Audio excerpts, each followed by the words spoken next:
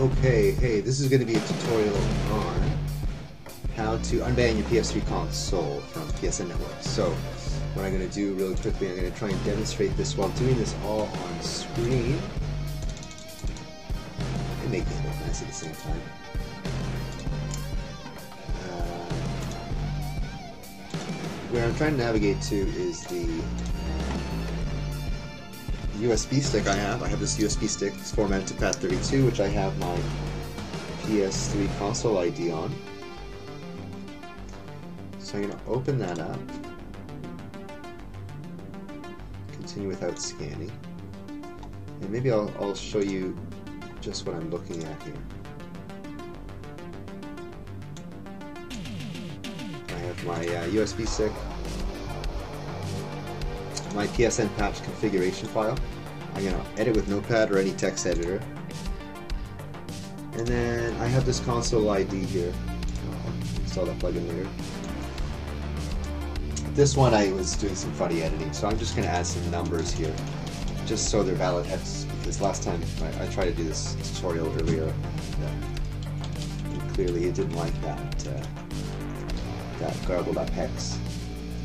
Well, that that those numbers that weren't necessarily hex. So I'm going to send you a console ID. I sell console ID for five for five dollars, um, and um, I'll send you a console ID just like this, and you can use PSN patch in this configuration file to uh, to unban your console. So I'm just going to save this file because it was already in the right place with the right folder, the right file name. It's in the roots of the USB drive .cfg file and then you're going to need the latest PSN patch. You can, get that probably on my blog, or I'll leave a link in the description.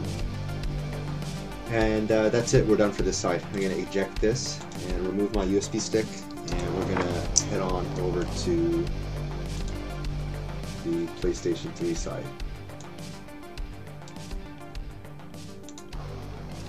Okay, here we're at step two. Uh, I'm going to plug the USB stick into the USB port further, uh, closest to the uh, Blu-ray drive, closest to the disk drive.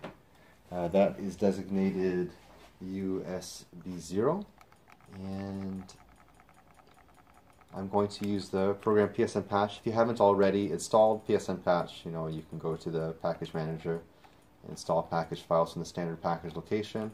It'll be there wherever it is and um, once it's installed, open PSN patch. I have on screen the banned PS3 console ID, so I don't mind showing you. And then there's the one that I was fiddling with on the computer. Obviously, that's not a valid console ID.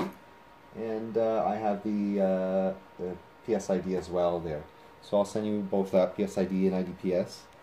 And um, to spoof it, all you have to do is press square.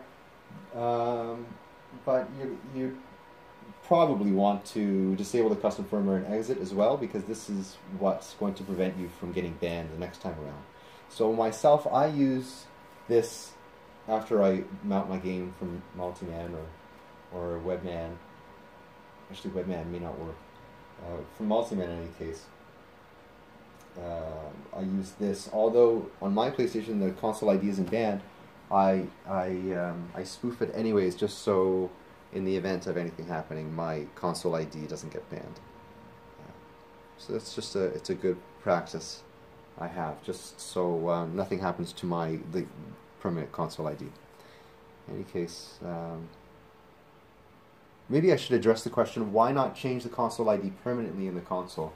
Uh, I'm just going to press squares to show you that it changes just like that why not change it permanently in the console? Maybe in the future, like Sony's going to just say, hey, it's okay, like we don't care about the ban anymore. Or maybe there's a way to change it on Sony's server uh, so that it's not banned. Just so, and also maybe there's something important about that console ID. Maybe it could be some kind of encryption to some other detail that maybe we're not familiar with yet about the PlayStation. There's still uh, different things about the PlayStation that we're not. Uh, um, 100% sure of. So, geez, changing or removing your console ID, removing the last remnant of um, your console ID may be a bad idea. At the very least, write it down somewhere if you're going to change it permanently. That's something to consider. Anyways, thanks for watching. Have a good day.